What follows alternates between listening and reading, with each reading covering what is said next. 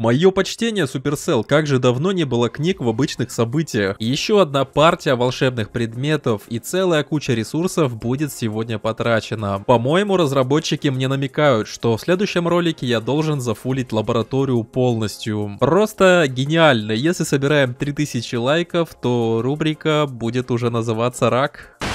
Всем здорово, друзья, с вами Тим, и это новое видео на аккаунте Крах, и рубрика это «Рак». Не, ну как-то непривычно называться, но по сути да, так и есть. Реально идеально подходит к этому аккаунту. И сегодня, как вы понимаете, будет опять-таки активная прокачка. Ну, по моему мнению, потому что перешел я 24 или какого там уже не помню. Но суть в том, что еще месяца 100% нету, но при этом основную часть я практически закончил. Поэтому начинаем сразу же с того, что я не забыл, и ставим на прокачку снежка до 4 уровня. Да, возможно это не тот живой животное, не то животное, которое сейчас нужно ставить, но ресурсы идеально сюда улетают, и, соответственно, после этого я смогу заюзать руну черного эликсира, которая у меня появилась золотого пропуска. Или же уже была. Так, подождите, а я уже получал ее или не получал? Подождите-ка. Ага, все, я получал. На, именно, золотого пропуска. Поэтому все, руна у нас уже полностью потрачена. И теперь-то пора бы, наверное, прокачать э, дом для животных, потому что тоже была цель его прокачать. И плюс там еще книжица есть, и плюс еще есть молоточек. И вот как раз-таки все животные теперь у меня в наличии. Ну, это самое главное, потому что после этих действий я смогу приступить за прокачку двух последних лагерей. Ну а после этого хранилища, и все, а потом приступим за прокачку дефенса. Строитель, который сегодня еще освободится, конечно же пойдет опять прокачивать ратушу до пятого уровня. Ну а сегодняшнего строителя, который освобожден, я не знаю куда поставить пока что. Но я точно знаю, что у цыгана я еще не покупал книгу героев, которую я сейчас уже купил. Залетаем также в медали рейда и покупаем зелье изучения. Ну а из того, что осталось, скорее всего будут покупаться колечки. Я пока что об этом не думал, чуть позже будет ясно. Так что сразу же сливаем вот сюда вот это вот добро. Как вы понимаете, лаборатория должна зафулиться уже в следующем ролике. 1, 2, 3, 4, 5, 5 позиций остается прокачать. Ну, ладно, еще возьмем, конечно, осадную машину, кстати говоря, которая уже открылась, я что-то совсем забыл. Я ее уже тестировал и показывал в ролике вам, но она пока что первый level, и я ее брать с собой точно не буду. В КК максимум кто-нибудь закинет, и то спасибо.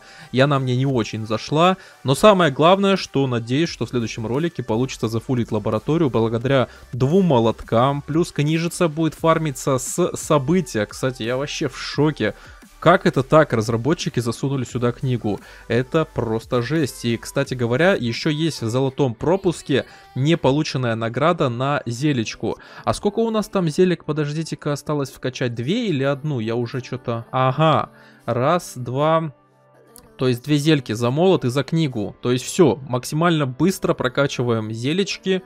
Также две книги. Не, ну есть, есть шанс прокачать лабораторию полностью. Считай, меньше чем за месяц лаборатория будет полностью прокачана, не считая осадной машины. Давайте сразу же потратим немножечко золота, чтобы собрать с клановой крепости. Там тоже немного есть золотишко, плюс пропуски есть ресурсы, поэтому прокачиваем забор до 16 уровня. И, естественно, руну-то я не просто так взял. Королева у нас прокачивается до 34 уровня, и причем моментально, а это значит, что уже скоро она будет тоже full. Кингу остается еще прилично, конечно, много прокачивать, но я его буду, скорее всего, без книг качать, так как после того, как я зафулю королеву за книги, я приступлю за хранителя, так как это важная штука в атаках, и не хочется его ложить на целую неделю. Но герой это, честно говоря, не очень сложная штука, со временем апнется, как говорю, за месяц я не успел, но за два месяца уж точно успею, либо же за этот месяц уже полностью его докачаю. Поэтому собираем награды отсюда вы. Я с ЛВК накопил, плюс еще бонусы. Короче, немножечко подкопилось. Пока что заданий хватает, чтобы пройти еще дальше. И ускорение исследований как раз таки к этому моменту подоспеет и максимально поможет в прокачке.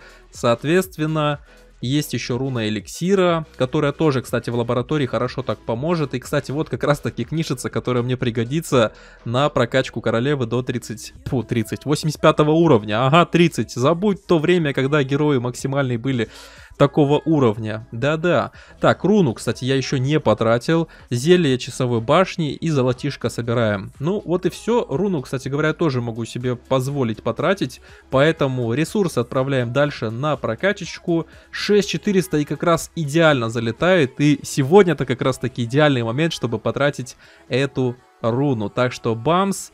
Ну и в принципе прокачаю пока что парочку стен потому что остальные ресурсы я бы хотел оставить на прокачку ратуши, а вот куда этого строителя отправлять я пока что не думал. В прошлом видео я сказал по поводу фарма, и действительно фарм намного ухудшился, и даже мне пришлось прибегнуть к бусту гоблинов супер, и сейчас фармлю ими, потому что это оптимальное решение забирать с хранилищ ресурсы, под джампами там, ну, неважно как. Самое главное, что забирать ресурсы. Поэтому накидываем джампик вот так вот и благополучно с каждого сектора забираем ресурсы. Это самый оптимальный фарм на данный момент. Никакие шахтеры, там, электрики, ничего абсолютно не поможет. Да, конечно, сейчас войска все бесплатные, но от этого фарм-то не улучшится и проще играть не станет. А вот гоблинов вот так вот накидал и забрал ресурсы благополучно. И плюсом ко всему я еще и прохожу задания с события, ведь все-таки книгу я эту потерять никак не хочу.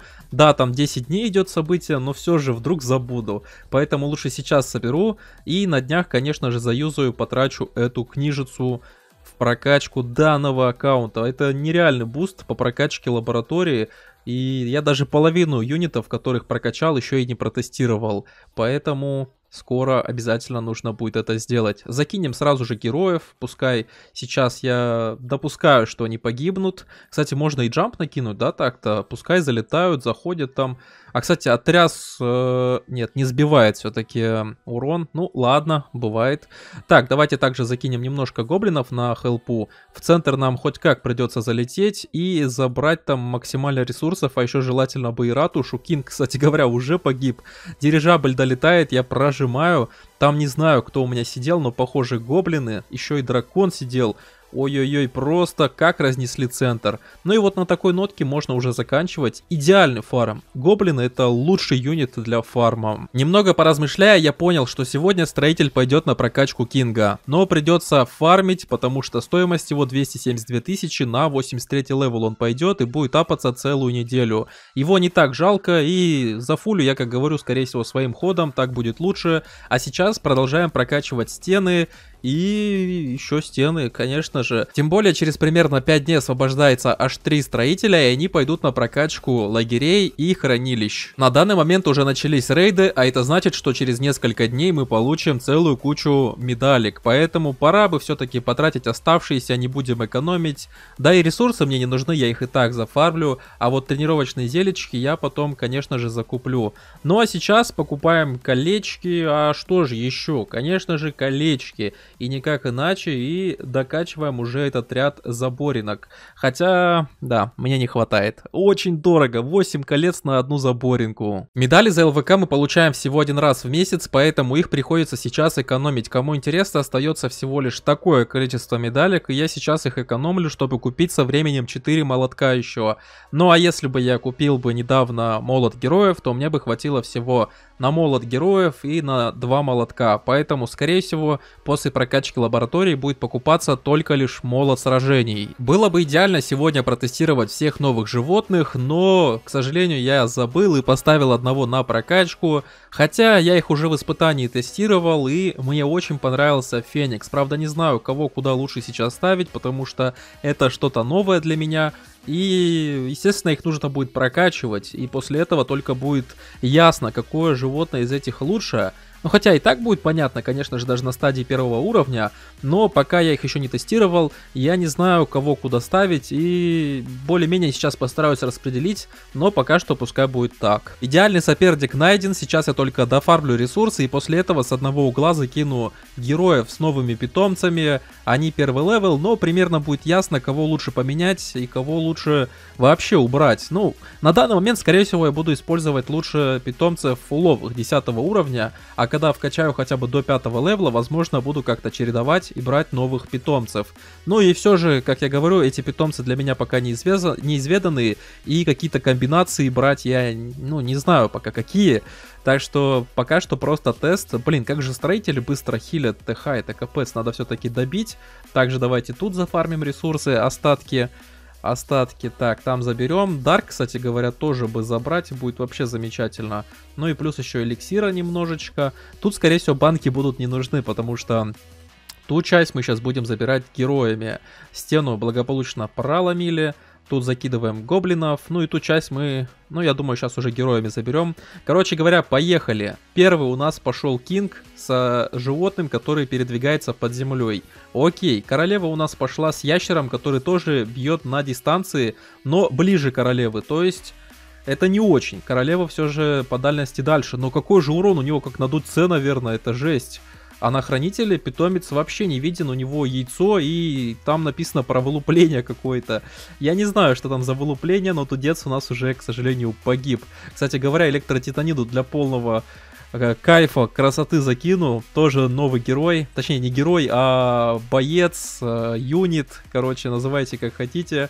Закинул тоже благополучно. Кинг там уже пробивается в секцию, хочет забрать КК. Я, конечно же, помогу гоблинами. Прожимаем остатки. И на данный момент я не вижу хранителя. А, а чё не, не вылупляется? Или только когда герой начинает э, проседать, и только потом вылуплится э, это яйцо? Или как оно работает? Ну, придется сейчас дожидаться смерти, что ли. Не хотелось бы, конечно. Я просто не знаю, как этот герой работает действие его, или мы даже не посмотрим его действия. Надо будет более детально посмотреть, что там написано, и когда он будет действовать. И там будет, я думаю, яснее.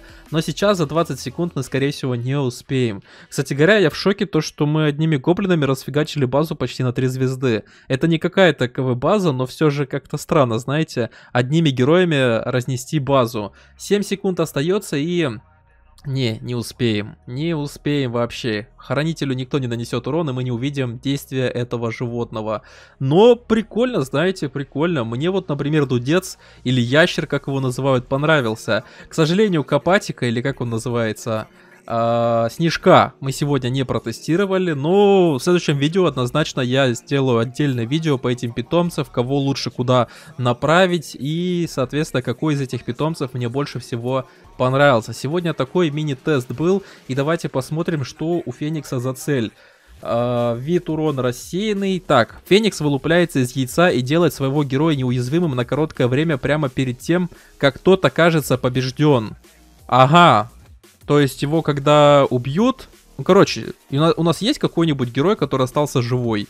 Да, у нас остался хранитель живой, и как раз таки с ним я сейчас и пойду в бой, и сразу же протестирую, чтобы не было непоняток. Я просто его скину на какой-либо дефенс, и мы посмотрим его действия, так будет проще. Все, хранитель скинут, и после смерти, по идее, ну-ка, автопрожатие... Uh, да, гениально просто на хранителе тестировать, у которого и так автопрожатие сработало. Ну, кстати, уязвимость что-то какая-то гипердолгая. Вот, все, я по... Блин, а это идеальная комбинация. Двойной хранитель. Обалдеть, а это, это нереальное животное даже на первом уровне. Не, однозначно, нужно будет пилить видео отдельное по этим животным и тестировать их нормально, а не так, как я сейчас. Но мне понравилось, слушайте. Реально способность этого Феникса просто нереальная. В общем-то, друзья, на сегодня ролик будет заканчиваться. Открыл я сегодня абсолютно всех животных. И со временем я возьмусь за прокачку абсолютно всех. Ну а пока прокачиваем, конечно же, Снежка. Всем удачки, друзья. Всем пока.